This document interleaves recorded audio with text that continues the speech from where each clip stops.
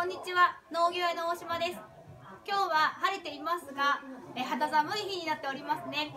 3月の下旬といえば心配なのが玉ねぎのベト病です。玉ねぎのベト病は土壌に潜むカビ菌が原因で発生します。歯の先が枯れてきたかなと思ったらベト病の危険性がありますので見つけたらすぐに対処をしましょう。玉ねぎのベト病を見つけたらこちらダコニールを散布してください。1000倍に薄めて使用します。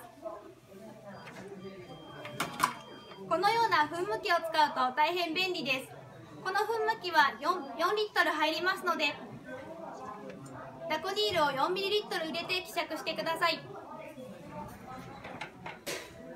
ラコニールはこのサイズで 250ml 入っていますが夏野菜にも使えるので1本持っておくと大変便利だと思います。直売所にも新玉ねぎの入荷が始まりました。